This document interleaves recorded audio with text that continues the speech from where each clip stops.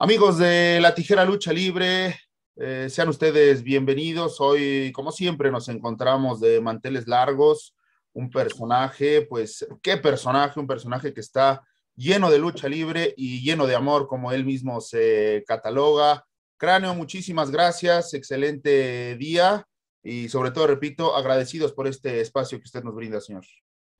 ¿Qué tal? Muy buen día, ahí saludándolos a todos y como lo decimos siempre, no estoy gordo, estoy lleno de amor, lleno de amor para todo el público y toda la afición eh, de la lucha libre. Y sobre todo, bueno, de tu espacio de la tijera. Exactamente, muchísimas gracias. Y sí, sí, un, público que definitivamente identifica ya este, este personaje de, de, Cráneo y estaremos platicando un poquito, pues todo lo que ha sido esta, esta trayectoria y hablando de esto, ¿en qué etapa cree Cráneo que, se encuentra? ¿En qué etapa de su, de su carrera se encuentra? Porque han sido ya varios personajes, han sido eh, oportunidades importantes, pero hoy en qué etapa de, su carrera se encuentra Cráneo? Mira, muchas veces este, uno tiene el de decir que hasta donde el cuerpo aguante, ¿no? No, yo creo que hay que ser conscientes y de repente eh, terminar a buen tiempo y creo que en mi etapa de mi carrera, yo creo que ya estoy en, en, la del final, ¿no? Eh, no sé cuánto, no sé si falte poco, falte mucho, pero quiero irme bien, que me vea el público todavía eh, en condición y no que se acuerden y que digan, ese hombre ya no se podía ni parar, ¿no? Entonces yo creo que ya después de todo el tiempo hay que dejar pasar a la nueva generación y bueno, por si mi parte puede servir más adelante ser instructor y regalar algo de conocimientos, pues adelante, ¿no? A veces para muchos gladiadores es complicado encajar en estas nuevas generaciones, no solamente de compañeros o de rivales, sino también del público, pero eh, en mi punto de vista creo que Cráneo ha sabido, ha sabido amalgamar esto, tanto acoplarse a los, eh, a los nuevos compañeros y rivales como acoplarse, perdón, también al público, una afición que, que, con los años, con el tiempo ha ido, ha ido cambiando, pero que ha estado usted entrando en el gusto y sea en el bando que sea, porque lo mismo podemos ver a un cráneo como maloso que, que, un, eh, pues un cráneo muy apegado al público infantil también. Fíjate que tengo la fortuna, tú lo acabas de decir, este, le agrado al público. Desde mis personajes he tenido esa, esa fortuna de, de que la gente me haya acogido de buena manera y sobre todo, bueno, acoplarse al estilo, ¿no? Aquí hay gente para todo hay gente para que le gusta que vuelen, hay gente para ras de lona, hay gente para nosotros, o sea, digo, de una u otra manera, hemos encajado porque todavía el público es muy generoso y es muy noble. Entonces, este, creo que tengo la fortuna de que sigo agradando y te digo, mientras pueda dar lo mejor de mí y le gusta al público, pues voy a seguir, ¿no? Pero eh, hace ratito decías en qué etapa de la carrera, pues ya vamos como el final no tan pronto, pero sí ya, ya viendo con realidad, ¿no? Lo que es. Y un grano que también eh, creo que ha tenido esta, esta parte, ¿no? El dar la alternativa a un gladiador como lo es eh, Vulcano, eh, un gladiador joven, pero este proyecto que está ahí, tal vez llamémosle en stand-by, pero que es un proyecto que, que la gente ya lo, los identifica, ¿no? Como los gorilas del ring, y por qué no pensar en, agregar a, a, otro elemento, pero al final creo que es un proyecto importante para, para su carrera también. Claro, somos dos ahorita y sí está en el proyecto de los gorilas del ring de hacer un tercero, claro. Este, pero ahorita eh, estoy tratando de catapultar a este muchacho, a Vulcano, que la verdad es eh, muy joven, es más alto que yo, tiene un eh, peso enorme, pero si el público se ha dado cuenta, tiene una calidad y es, tiene agilidad, ¿no? Que eso es lo importante. Entonces, eso es lo que de repente sorprende en nuestro tamaño, en nuestro peso, que tenemos la agilidad a nuestra manera. Entonces, este, sí, ahorita lo importante es despegarlo a él y si queremos uno tercero para, para hacer la tercia de los gorilas del río, ¿no? Exactamente, digo, ya estamos, eh, hemos estado hablando de, de, la, de, la, realidad actual de, lo que es eh, cráneo. Eh, pero señor, obviamente todos tenemos un, un, inicio. ¿Cómo fueron estos inicios de, cráneo? Porque han sido, si no me equivoco, cuatro personajes hasta, hasta el día de hoy todos ellos con, una característica y sobre todo en su momento también han sido personajes eh, polémicos, pero, pero háblenos un poquito de los inicios, ¿por qué, por qué enamorarse de este deporte? Y, y menciona la palabra enamorarse porque todos ustedes los gladiadores lo dicen, ¿no? Creo que no se puede estar en la lucha libre sin, sin amarla. ¿Cómo nace este, este enamoramiento de la lucha libre? Así es, eh, mira, yo lo he platicado varias eh, ocasiones. Yo traté de jugar fútbol, béisbol, fútbol americano, este, básquetbol, voleibol, le intenté a todo y yo creo que es como todo, ¿no? Yo, yo a veces les digo, en el caso de mis hijos, que siempre busquen una carrera que les guste, ¿no? A veces cuando te imponen, los papás te imponen, es que vas a hacer esto, tú ya lo haces como, ya no con gusto, lo haces porque quieres darles eh, la satisfacción a tus padres. Pero yo digo que siempre para buscar un, trabajo, un deporte, una eh, música, lo que te guste, la artistiada, te tiene que gustar. Entonces, eh, yo aquí vi a un amigo, él luchaba como cristero, fuimos pareja muchos años, yo lo vi caminar y le digo, ¿a dónde vas? Y me dice, voy a entrenar. Le digo, ¿me invitas? Eh, le digo, ¿qué llevo? Y me dice, agárrate un short, una playera y una toalla. No, pues agarré de carrera porque yo iba emocionado, pues yo, yo quería ver qué, qué, qué se hacía ahí. No, quiero que sepas, nos pararon una friega como no te imaginas, pero me gustó, me gustó y de ahí dije, de aquí ya no me sacan. Entonces yo creo que, que van pasando etapas donde tú le buscas a todo, pero llega el momento que te dice, eh, tú eres de aquí. Y ahí me quedé, me quedé, me, ahora sí que me quedé a que me soportara hasta ahorita el público. Entonces, creo que, que hice algo, como tú lo dices, que, que, ama, ama a uno, entonces lo hago con mucho gusto y lo, lo, peor del caso es que me pagan por hacerlo, ¿no? Entonces es algo que, que me encanta, lo hago y, y me divierte y estoy muy a gusto y gano, gano en ello, ¿no?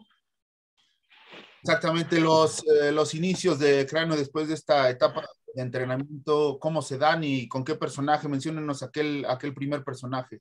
El primer personaje era King Imperio. Eh, empecé, te digo, con condición, nos traían pura condición, condición, condición. Y había momentos que ya hacían un grupo, eh, te azotaban y te mandaban al baño. Entonces yo me quedaba a ver, siempre veían que me ponían una esquinita y me decían, no le vayas al baño. Y yo no me quedaba hasta que un día el profesor me habla, a ver, dice, ¿por qué no te vas al baño? Si ya te digo su despedida, vayas. No, le digo, es que yo quiero más, quiero, quiero aprender. Ah, bueno, ¿quieres aprender? Y ya me, subieron al ring, me dieron peor la friega porque ya era un puro muchacho que, que pues ya hasta luchaba. Entonces, este, eh, te digo, cuando uno es aferrado, es aferrado. Me acuerdo que para enseñarme un látigo, que ese jamás se me va a olvidar, me dieron 300 látigos. ¿Qué es un látigo? Es un jale de judo donde te dan el jalón y te estiran y caes de, de, espalda, ¿no? Entonces, eh, el látigo me dieron como 300 y me decían, ¿todavía no lo entiendes? No, sí, yo ya lo hacía y me decían, no, lo estás haciendo mal. Y otra vez una vuelta, eran, eran como 10 elementos de 5 látigos por cada uno.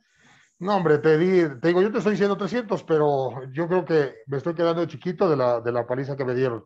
Pero ya de repente me di cuenta, entonces ese es de ponerle atención. Y ahí con ese, ese tiempo me aferré, fue lucha olímpica y tecnología grecorromana. En su momento, de, a nivel nacional, en gimnasios, fui campeón de lucha olímpica. Y ya después ya empezamos a la profesional y ahí empecé con el nombre de King Imperio. Dicen que no hay luchador de un solo profesor. ¿Quiénes fueron estos elementos que dieron estos, eh, que hicieron a dar a Cráneo estos primeros pasos en la lucha libre? El principal. Ah, perdón, hablando de esta parte de gimnasios, eh, también en, en, dónde llegó a, entrenar Cráneo. El principal lugar fue la Arena López Mateos. Eh, ahí estaba un refere que se llamaba Jorge Bernal. Se llamaba porque en paz descanse y ya falleció de cáncer. Un excelente profesor. Él luchaba como magno, este, Magno como el romano, ¿eh? No, ni Magnus, ni, ni, Magno de pistola, ni mucho menos, era Magno como un romano. Eh, era un excelente amigo, profesor y, y refere.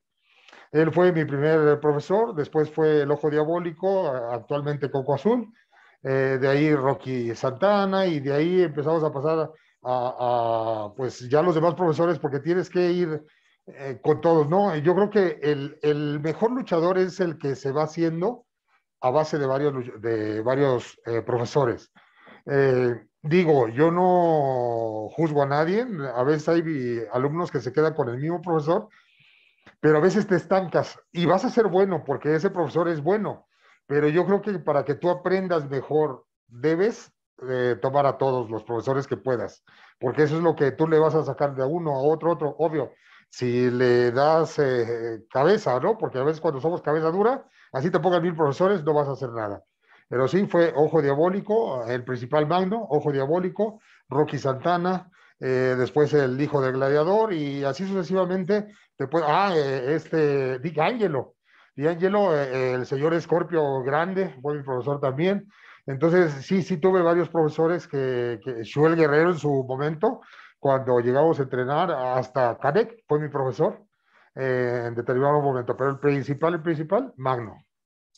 Pues vaya nombres, vaya elementos con los que le tocó pues entrenar, llamemos que cráneo, por, decirlo de alguna manera, de las fuerzas básicas de la, de la, de la Arena López Mateos, una arena de mucha tradición. ¿Cómo se da este, este ansiado para ustedes, ansiado debut?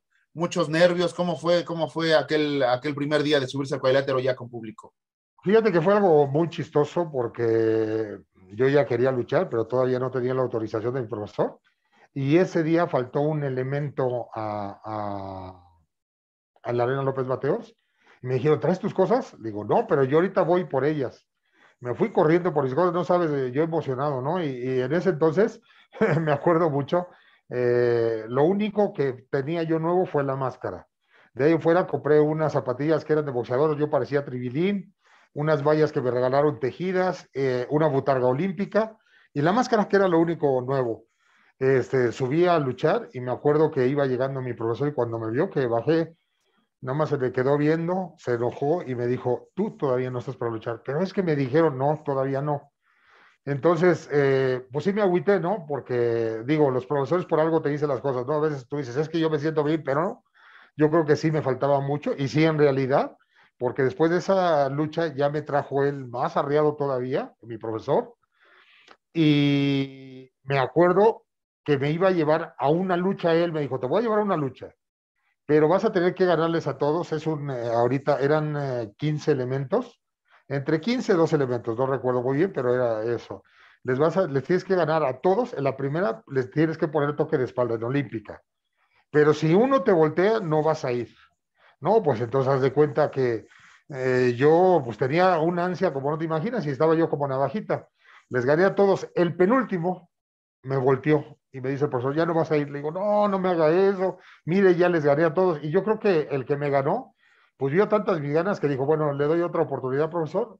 Tuve que ganarle a él y todavía al, último. Te, te, digo, terminé como no te imaginas, pero él ya me dio su autorización para luchar, ¿no? Y ya de ahí, pues entonces ya, ya, ya no te miran como el alumno normal, ahora ya te están, eh, este, dale, dale, dale, dale. Y a veces tú te puedes enojar, pero no te debes enojar, porque siempre van a ver tus defectos y, y es lo malo, porque a veces tú ves los defectos de los demás, pero no ves los tuyos.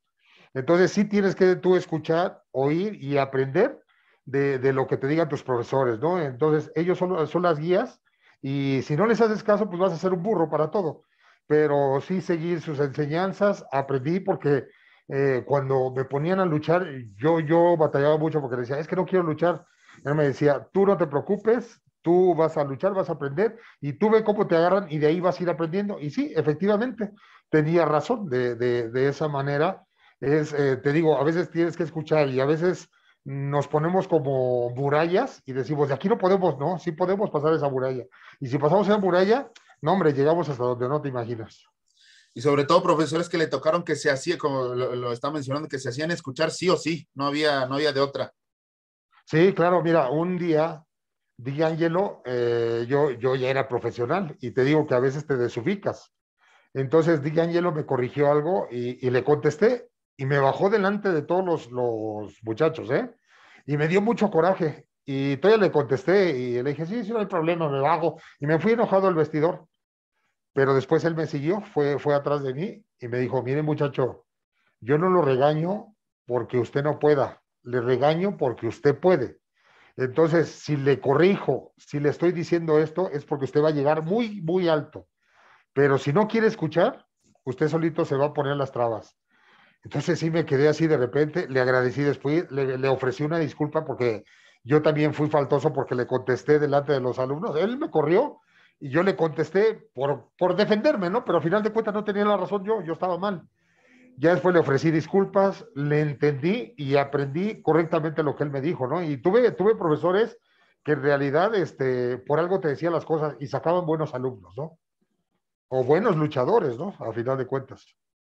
Exactamente. Después de, esta, de esta etapa en la Arena López Mateos, ¿cómo se da el salto a la Arena Naucalpan? Y ya con este personaje de, cráneo en, sus inicios, ¿cómo se da esta metamorfosis, llamémoslo de esta manera? Mira, de, ahí eh, da la cosillita porque, pues, eh, digo, uno como joven quiere buscar nuevos, nuevas expectativas, ¿no? Y decías, es que yo veo que fulano, sutano, perengano van a luchar acá, acá entonces me dio la cosquillita y, y como pues a veces tú no sabes eh, lo que eran Naucalpan y Tlane, eran como los enemigos deportivamente casados, ¿no? Entonces yo empecé a ir a la, a arena Naucalpan y ellos me, me, agarraron muy fácilmente, pero yo creo que era por el detalle. A mí la López Mateos me hizo y ellos me tomaron y me completaron de hacer bien y dijeron, no, ya no lo soltamos. Entonces, eh, eh, era como un pique, ¿no? Te quito elementos, tú me quitas de repente, pero ahora yo te quito. Sí, de la escuela actual. Así es, y entonces ahí empecé yo a, forjarme en la arena local, pues me gustó. Eh, me dieron apoyo. Bueno, yo no puedo dejar la López Mateos, porque la López Mateos, a final de cuentas, yo en una de esas ocasiones me dieron una paliza como no te imaginas. Yo ya no quería luchar. Y el promotor Héctor Guzmán me dijo, no, no, venga para acá, dice, usted va a luchar la siguiente semana. Yo le decía, no, déjeme preparo más, porque no, no, yo tenía miedo, tenía terror. Me habían dado una zarandeada, bueno, hasta calentura medio. A veces cuando te dicen que te da calentura, si es efectivamente te da calentura de las feridas que te dan, ¿eh? Yo creo que moral, este, eh, corporal, eh, todo te pega y te pones muy mal. Entonces, ellos me apoyaron y vieron algo en mí, me animaron y bueno, ya la siguiente lucha pues me fue mucho mejor y ya me empecé a animar, pero yo tenía un terror. Y cuando ya me voy allá, yo creo que, que ya me completan enseñarme un poquito más y de repente no les gustó el nombre de King Imperio y dice, mira, tenemos este nombre.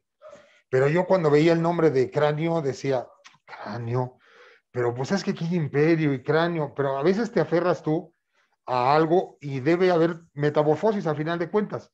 Entonces, ¿qué hacía yo? De repente, mentalmente, gritaba yo en mi mente, cráneo, cráneo, de, ah, que sí lo puede gritar la gente. Me dan el personaje y yo no me gustaba porque en ese entonces era una máscara de látex y mi cabello salía, un copete grande, y se veía chistosa, pero salía fuera de lo normal de todos los demás luchadores. Y el equipo era blanco, era negro con rojo, parecía huelga, y tenía tiras. Eh, estaba bonito, a final de cuentas, era digo, ahora ya ves y, uy, ya, ya sacan equipos extraordinarios, ¿no? En ese entonces, pues era como lo de la moda, pero pues eh, gustaba. Y creo que, este, te digo, me renegaba, pero ya cuando vi el equipo, y ahí es donde te das una cuenta de una cosa, que el personaje debe meterse al equipo, o la persona debe meterse al equipo.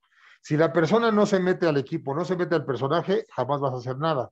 Entonces eso fue lo que me funcionó, que ya empecé a querer el personaje y, empezó a explotar. Entonces en ese entonces yo recibía a la gente independiente, recibía a la gente de AAA, recibía a la gente del consejo, recibía a los del pabellón en ese entonces. Entonces yo empecé a ser una estrella fuerte de la arena Naucalpan. Lo está mencionando en esta parte eh, de los equipos. Eh, creo que le tocó una época en la que sí eh, comenzó a dar estos, estos cambios en los equipos y tal vez el público los, los aceptaba, eran muy llamativos y demás, pero los compañeros a veces no, los compañeros eran eh, los, que, los que quizás se ponían un poco más rejegos, llamémosle así, en este sentido por, por vestir de esta manera arriba del cuadrilátero. No sé si le pasó esta, esta situación a Craig.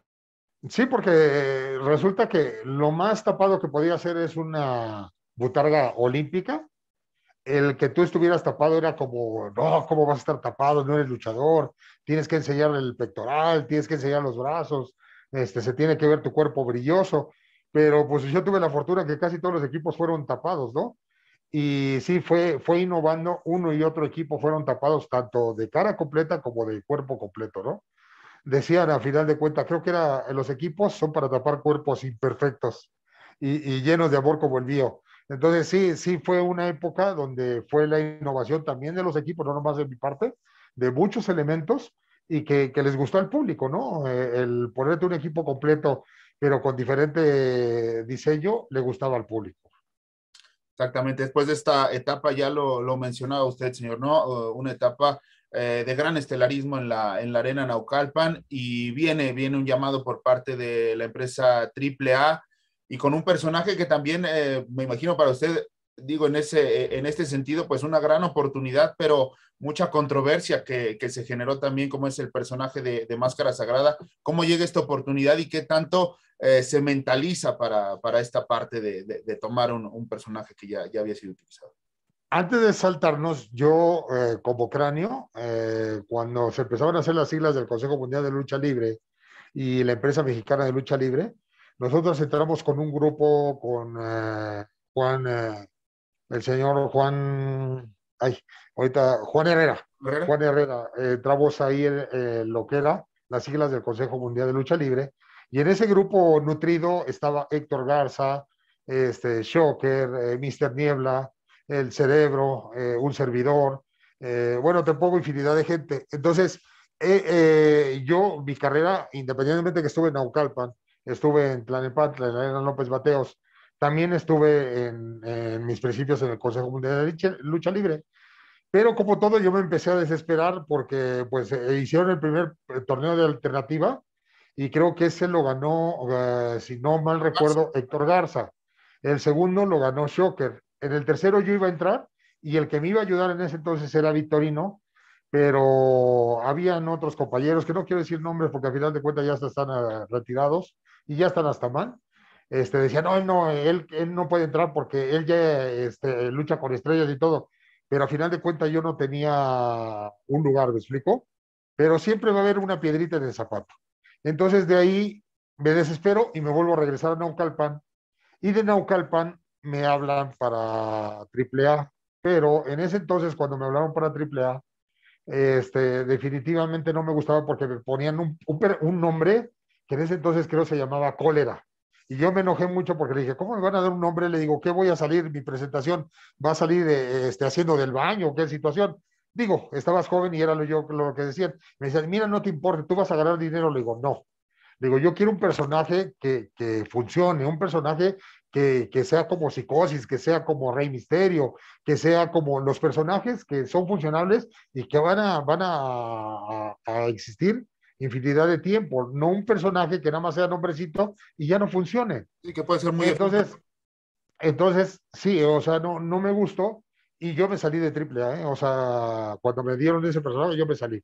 Les dije, pues déjenme como cráneo, cráneo puede ser funcionable. No, no, porque había otro elemento que decía que se parecía a él y, y, no quería que yo trabajara con el nombre de cráneo. Entonces dije, me vuelvo a regresar a Naucalpan. Y después pasa el tiempo y me hablan y me dicen, ¿sabes qué? Queremos, eh, tú das el perfil, tú te pareces mucho, queremos el Máscara Sagrada porque en ese entonces el original se salió. Entonces me dicen, como yo ya había renegado y les dije que no, me dijeron, te damos si quieres esta semana para que lo pienses les dije, no tengo nada que pensar. Si voy a, trabajar, de una vez para adelante, vamos a, echarle. Entonces me dicen ellos, órale pues, entonces me dicen, hay que mandar a hacer el equipo. Yo no tenía nada, le digo, no, pues me dan tiempo una semana para hacerlo. No, de un día para otro me dijeron que fuera y ya me tenían cosas y ya me presenté como máscara sagrada y de hecho, pues este, digo, eh, pasé por bueno porque todo el mundo pensó que era el original y de ahí, pues eh, en ese entonces no se manejaban las redes sociales como ahorita, pero sí a como se manejaban en Internet, eh, dijeron que el Máscara Sagrada número dos, porque siempre las segundas partes no son buenas, eh, este, no iba a dar. Y, y, cuál fue la sorpresa? Que yo salí ahí en críticas en ese entonces, que era que había superado el original, ¿no? Entonces eso me dio gusto, pero también algo que pasó es que yo luché como yo luchaba, no estaba copiando a, a Máscara Sagrada este, original, ¿no? Estaba luchando como era yo. Entonces, eso es donde creo que salía algo diferente. Pues creo que un hombre de, de, temperamento, porque cuántos jóvenes a veces no están en busca de esta, de esta oportunidad y, digo en dos ocasiones, pues mostrando, repito, esta, esta parte del temperamento. Una, eh, pues con este, este torneo de la gran alternativa dentro de la empresa mexicana de lucha libre posteriormente este personaje de, de AAA que pocos se atreven a decir, no, no lo quiero, yo, yo prefiero que, que, se valore mi trabajo por esta, por esta situación. Y, al final esa espera creo que valió la pena porque, porque llegó un, un gran personaje y repito, pero un personaje al final eh, de cuentas también con mucha, mucha controversia. ¿Qué le trajo más este personaje Máscara Sagrada? Más problemas, eh, más cosas buenas, porque al final, repito, se habló, se habló demasiado en, aquella época, también sobre todo en revistas especializadas, lo, que es esta parte de, comenzaba ya esta cuestión de, la red, internet. tú lo estás tomando, efectivamente, eh, tuve mucho trauma, como no te imaginas, porque sí, yo fui la primera, ahora sí que fui el primer clon de todos los clones que hubo al principio, entonces sí fui muy atacado, fui muy agredido, bueno, llegó una ocasión que yo fui a, a Minatitlán y me llegó una chica, ¿eh? Y me dijo, oye, ¿por qué no fuiste a, ver al niño en la casa? Entonces yo, yo, le dije, es que no me dio tiempo. No, yo ya me metí a la arena ya para, para bueno o mal, Arturo Rivera venía atrás de mí y paró la muchacha y le dijo, no, este, lo estás confundiendo, no es eh, el que tú piensas, él es el de triple A y todo. Entonces yo daba el parecido como quiera en aquella cuestión, pero sí, eh, este, sí hubo una pelea eh, digo, en los medios y pelea psicológica, ¿no? Pero una ocasión en eh, lo que fue en unos medios en Monterrey, nos juntaron a los dos y en ese entonces fue Octagón. Yo era campeón nacional, eh, mi completo, que le había ganado a Sangre y Chicana.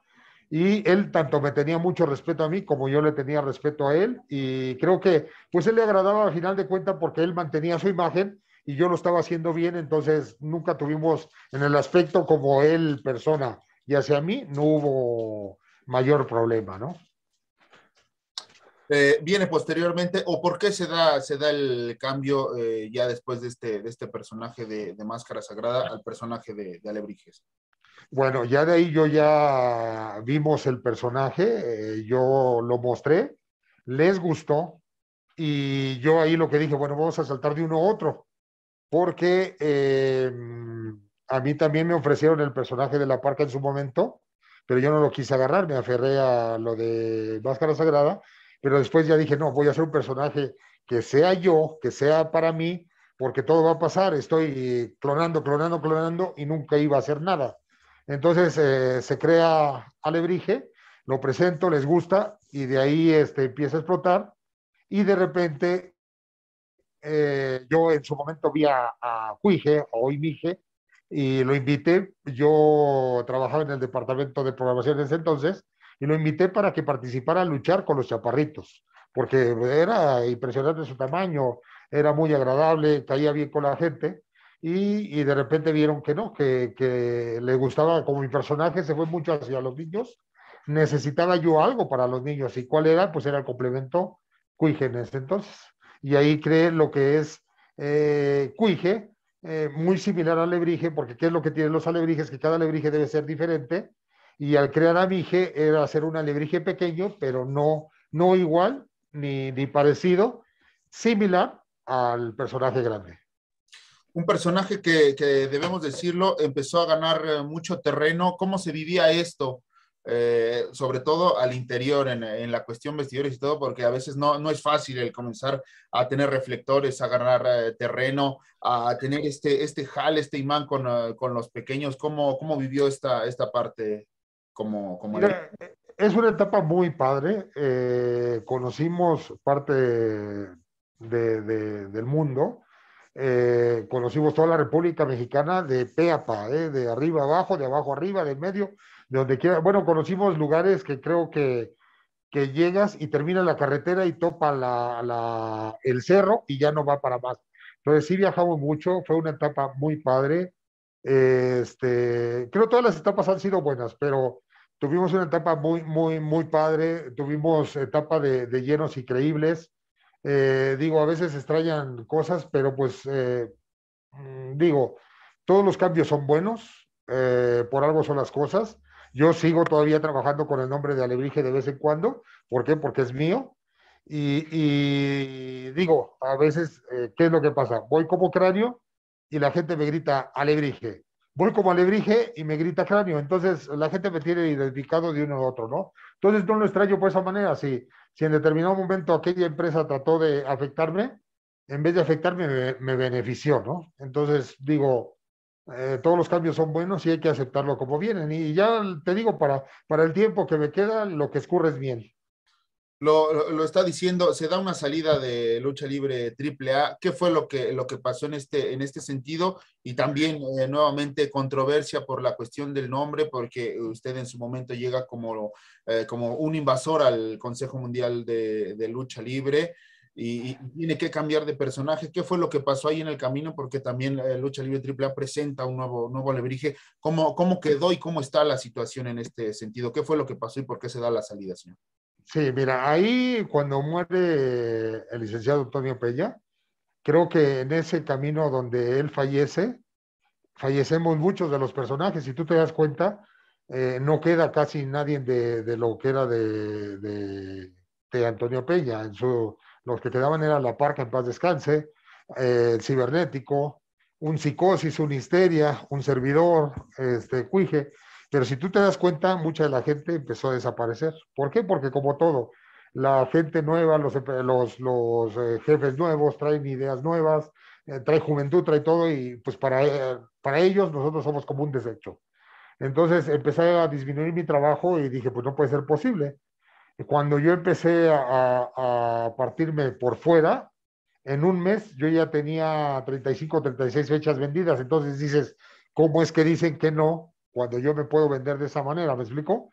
Entonces decidí salirme por, por un bien para mí y a final de cuentas, pues nos iban a enterrar. Tarde que temprano nos iban a enterrar. Tú ahorita ves que elementos están regresando, pero pues van a regresar por un ratito porque los ocupan para algo, pero de repente les van a dar gas. Eso es de cajón. O sea, ya no, ya, ya somos luchadores viejos. Hay que reconocerlos y hay que, o sea, es como ahorita que me hablaran, mira, queremos que te presentes, o sea, sería lógico porque ya, ya tu etapa acabó. Entonces anduve vagando un poquito por uh, la Independiente y para esto Psicosis se engancha para entrar como invasores, nos invitan, era Histeria, él, uh, un servidor, este, Monster, Chucky, y creo que es un boom cuando entramos, pero no creo que nos fuimos desprotegidos, o sea, hubo una pelea legal en donde tenemos documentos y qué es lo que pasaba. Nosotros lo presentábamos y estábamos dando un boom y pegó grandioso, pero de repente AAA mandaba papeles que ellos eran los dueños y nosotros mostrábamos, no, mira, aquí están los otros. Entonces mostraban papel y papel. Entonces ya se paraba la bronca. Pero cada vez que nos presentábamos en televisión, mandaban su copia, mandábamos nosotros la otra, y así era un cuento de nunca acabar. ¿Qué pasa eh, a hoy en paz descanse eh, el señor Paco Alonso? Un respeto donde quiera que esté, Dios lo bendiga. Nos acogió de buena manera y dijo, miren muchachos, yo los quiero ayudar, pero pues también están cada rato mandando. Yo sé que ustedes tienen la razón, pero no hay manera, no hay problema. ¿Qué hice? Que desempolvo cráneo y se lo muestro, señor, está esto. ¿Qué le parece? Vámonos adelante. Y entonces dio la conversión y le dio el apoyo. Y cuando le mostramos, le dijimos, mire, ya está otra vez lo de Alebrije. Dice, no, vamos a encaminar, ya encaminamos esto, vamos a seguirle para adelante. Entonces, ¿qué pasa? Eh, histeria y psicosis se regresan, mal, mal habido, se regresan por cada quien ve sus intereses.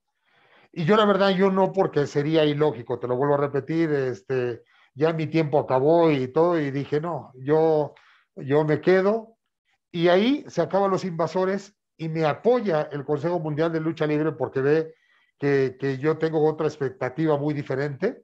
Y dicen a Río Revuelto, ganancia de pescadores, me fue muy bien, me empezó a aceptar la gente, eh, que de hecho ya como Alebrije me aceptaba muy bien, pero este, cuando pasa eso, regreso a Cráneo y ¿qué es la sorpresa? Que funciona, porque en eso le cambian a, a, a Cuije, le cambian a Mije, y funciona, es la misma, ahora sí que la misma burra, nomás que revolcada. Entonces tenemos la fortuna que, que um, ¿qué pasa? Que piensas que te van a hacer un cambio y adiós. Y no, aquí vemos que todos los cambios, a veces los jóvenes se aferran a algo, pero yo creo que de repente si te dan un cambio, acéptalo porque los cambios son buenos, tarde que temprano son buenos. Comentando esta, esta parte, ¿no? La, la, la, la situación de, eh, pues ya la salida de lucha libre triple A, viene esta, viene esta situación de, llegar a la, Arena México.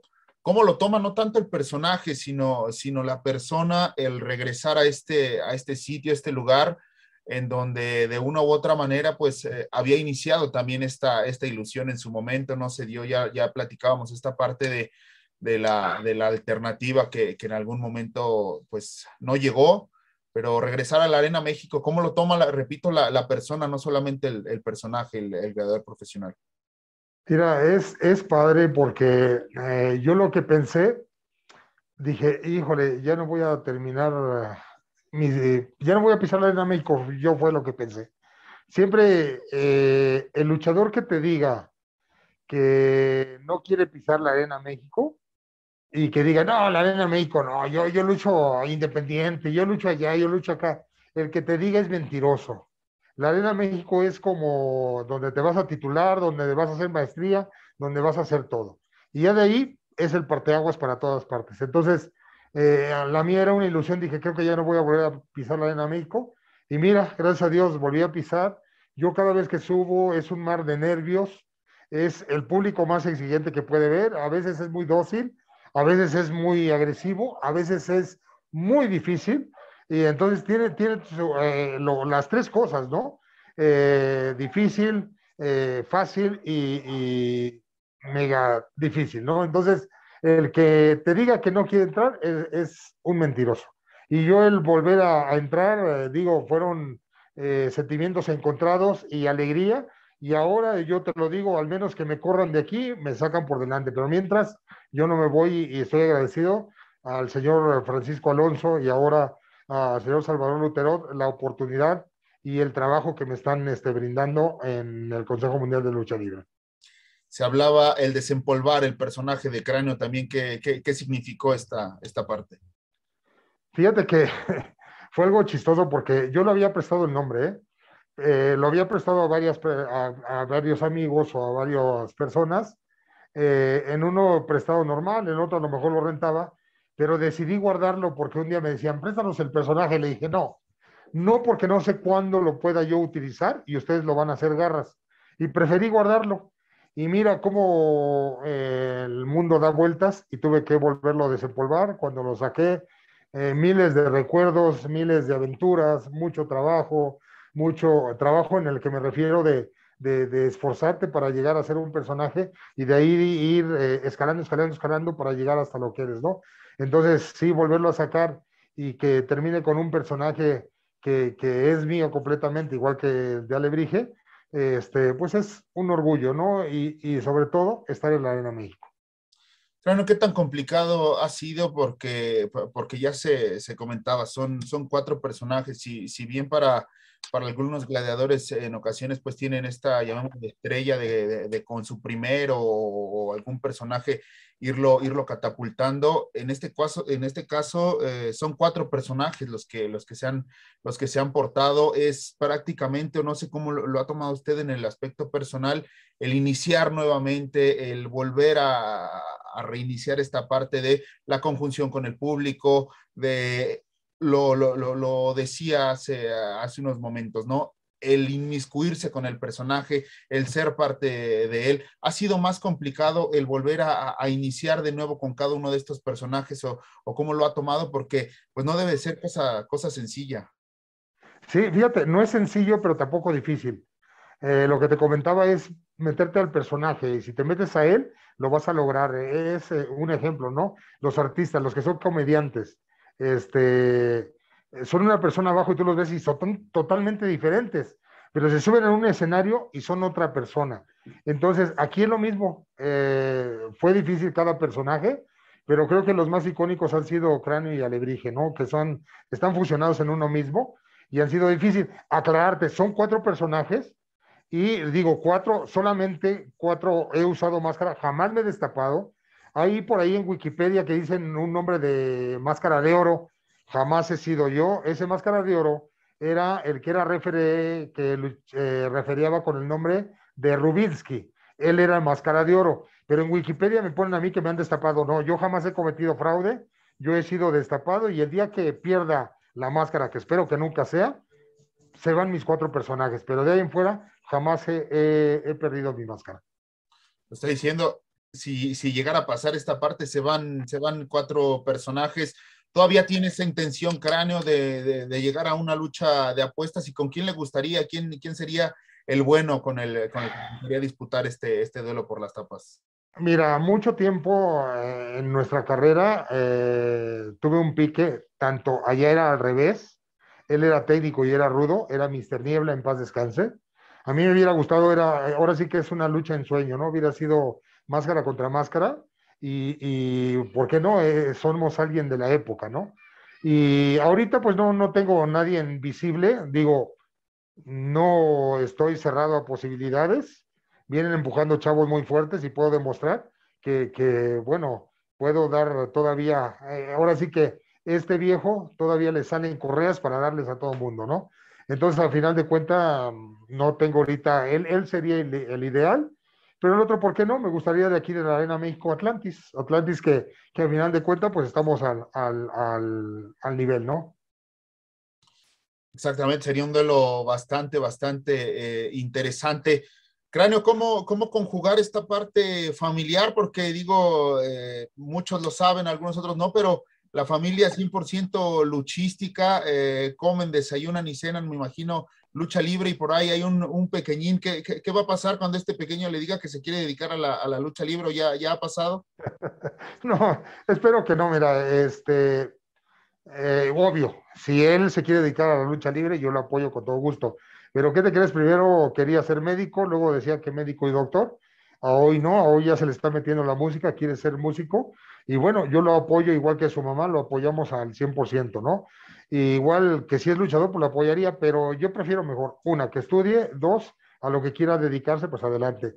Mira, no, no es malo, ¿no? Todos quisiéramos tener un hijo dentro de la lucha, pero cuando tú sufres a morir y te das cuenta que te sacrificas, yo a veces oigo compañeros que dicen, híjole, he batallado mucho, perdón, cuando oyes eso que dicen que he batallado mucho y los señores les dan avión, este, están viajando en un camión de primera eh, o, de lujo y dicen, ay, no batallé porque me fui cuatro horas a tal lado. Por favor, nosotros nos quedábamos a dormir en las centrales, nos dejaban vuelos, a veces este, es irte en camionetas que estaban de, la patada, este, mal comidos, mal dormidos. Eso es batallar. Lo que ahora, ahora no batalla. Entonces, el que tú veas cómo batallamos ahorita y que a lo mejor a tu hijo ya no le va a tocar porque nosotros ya labramos el camino para que ellos pasen rápido. Pero no me gustaría, si, si así yo veo mis familiares que, que se golpean o en el caso eh, mi esposa que de repente se lesiona, yo respeto mucho el trabajo, pero se lesiona y sufro al verlo golpear, entonces continúas, imagínate un hijo, ¿no? ¿Es fácil tener una, pareja luchadora? Eh, sí y no. Eh, sí en el aspecto porque te va a comprender en muchos sentidos. en el de la lucha libre vas a ver qué es lo que pasa. va a tener una palma en tu espalda, decirte bien, eh, dos, a lo mejor no, porque eh, de repente, como yo a veces le corrigo cosas, es que esto no está bien, y ella hace lo mismo, ¿sabes qué es que estás haciendo esto? Y digo, a veces te vas a enojar, pero debes comprender, te digo, siempre hay que tener oídos, si a veces eres necio y no escuchas, ya esto está mal, ¿no? Digo, no es fácil, no es difícil, pero es como una relación total normal. ¿Por qué ha durado esta relación? porque yo respeto su trabajo, yo no me meto para nada, ella tanto sus redes sociales las mueve como ella quiere y jamás voy a estar hurgando porque ahí es el respeto, igual el respeto hacia mi persona y hacia mis fans o a, mis seguidores no se mete, entonces creo que como ha habido una división, eh, división, hemos estado muy bien. No es difícil, no es fácil, pero tampoco imposible. Exactamente, cráneo, la lucha libre no es para, para toda la vida, si bien eh, algunos gladiadores no se pueden alejar al 100% en el momento en el que se retiran, pero un cráneo que ha sabido eh, sobrellevar dos, dos, pasiones, dos profesiones, por una parte la lucha libre y por otra también esta parte de la fisioterapia y demás, ¿cómo se inmiscuyó en este, en este sentido también en esta, en, esta rama de la fisioterapia? ¿Cómo, Mira, casi nunca digo esta cuestión. Yo interrumpidamente tengo 28, 29 años haciendo lo que hago, soy masoterapeuta físico deportivo osteópata. Pero yo esto tengo como de, mm, yo quiero decir, de un legado de familiar. Mi mamá sobaba, mi abuelita curaba, ahí era curandera, y sobaban entonces, y ya lo traigo como, como, ¿cómo se le puede llamar? Cuando este, te lo mandan, es un legado, es una herencia, ya es una herencia de ellos. Y este, yo, la primera vez que acomodé un hueso, acomodar relativamente porque se salió un de un compañero, te estoy hablando hace como 32 años. Este, me dijo, mira, se me salió el codo y lo agarré y pum, se lo acomodé, como si yo supiera. O sea, ya era nato, ¿no? Y a final de cuentas, ya después empecé a estudiar, eh, porque tienes que conocer las partes del cuerpo, te vuelves como un médico, que a final de cuentas nada más ocupas cuatro, siete, ocho términos que, que vas a utilizar y es de lo que se basa el cuerpo humano. Entonces, muchas veces los luchadores no sabemos hacer otra cosa más que luchar. Pero a veces, como en este caso, cuando empezó la crisis, no de ahorita, cuando ahorita desgraciadamente la pandemia nos pateó a todos, pero anteriormente cuando fue la influenza, que pararon dos semanas, imagínate, el país se hizo garras, ahorita con como está. Entonces, muchas veces dices, tengo que buscar otra cosa, porque la lucha si se detiene, ¿qué va a pasar? Entonces, desde ese tiempo, yo tomé la iniciativa de tener otra cosa que hacer precisamente para no, no pasar esta situación. Y bendito Dios con eh, ser masoterapeuta físico deportivo, esto me ha ayudado ahora que estuvimos en este tiempo tan difícil con todo eh, el, el, protocolo de seguridad. Eh, les echo líquido a mis pacientes, cubrebocas, que traigan sus toallas, o sea, cuido mucho ese aspecto porque no sabes en qué momento te, te puedes infectar también, ¿no? Entonces, este, trato de, lo más que se pueda y es lo que me ha ayudado a sobrevivir después de la lucha libre, ¿no? Gran han sido, eh, hablamos de estos cuatro personajes, ¿cuál es, cuál es hoy el consentido de, de Cráneo?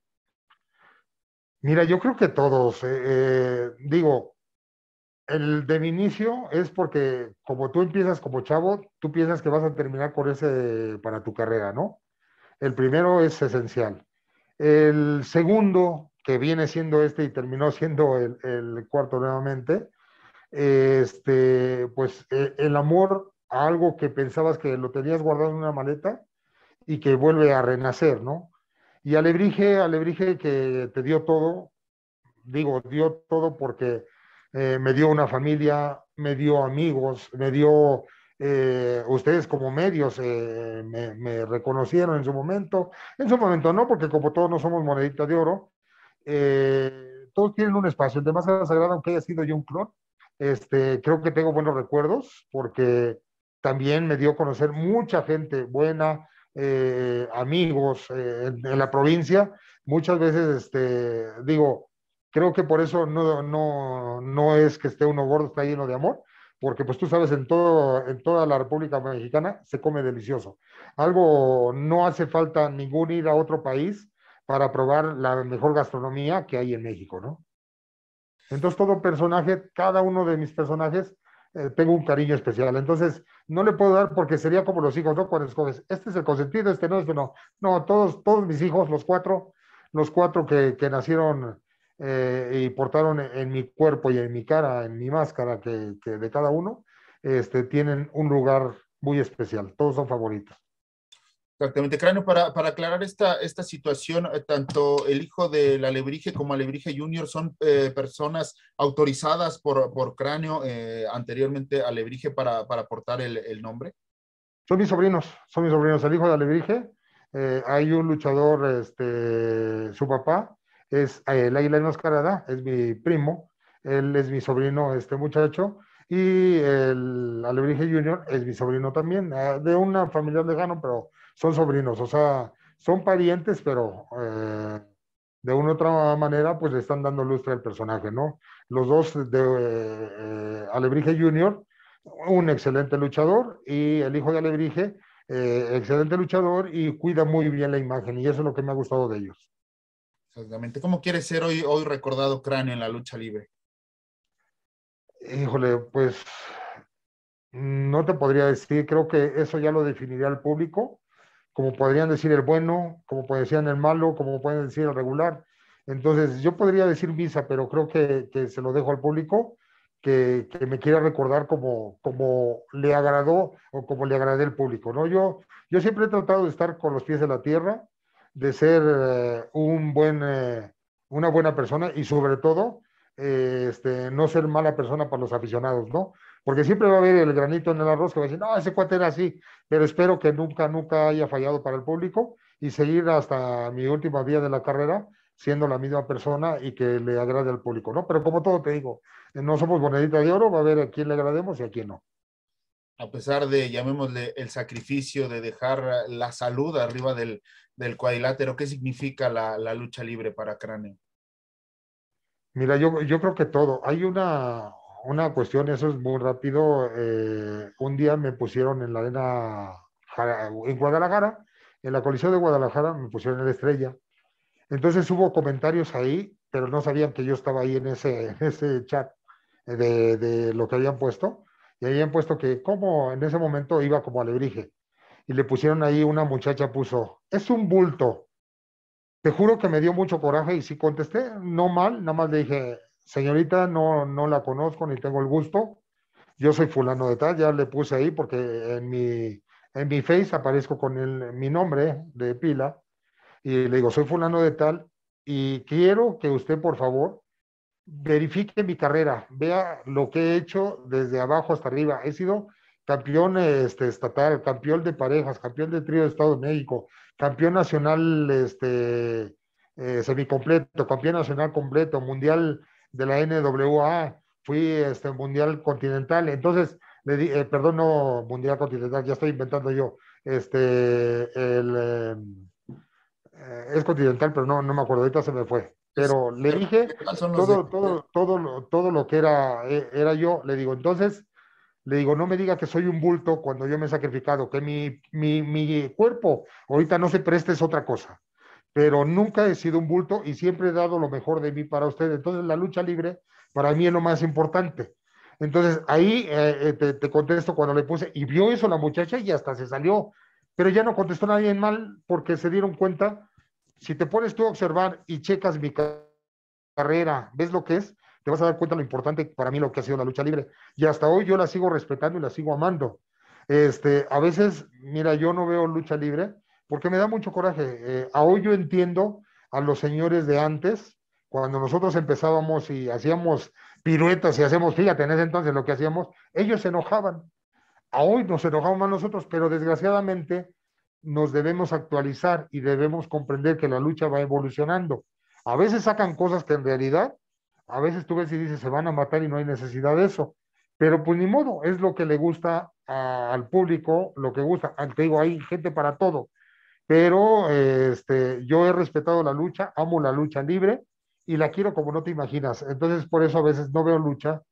A, la pregunta que tú me decías, yo la amo y es lo más grande y la verdad a veces eh, cuando la hieren siento horrible que, que, le empiecen a dar puñaladas a la lucha libre.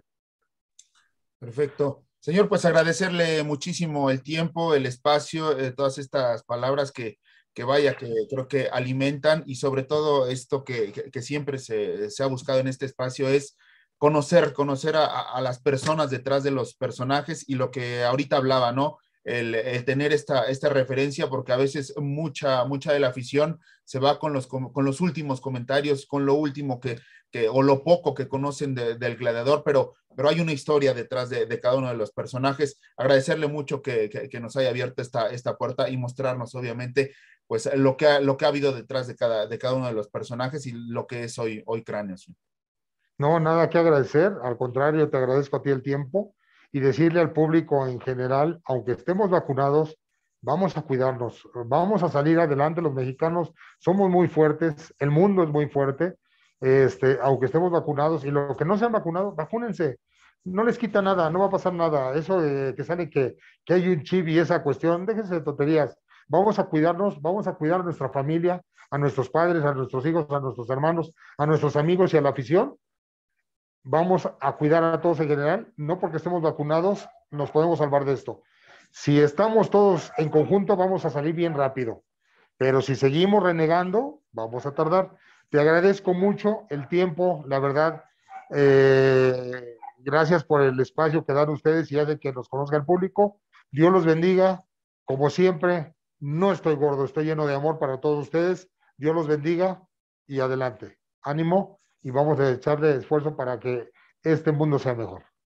Y para seguir llenando de amor las arenas. Así es, de puro amor, de puro amor. Muchísimas gracias, señor. Excelente tarde. No, gracias a ti, Edson. Que Dios los bendiga y muy bonito programa. Y estamos para servirle. Cuídense mucho.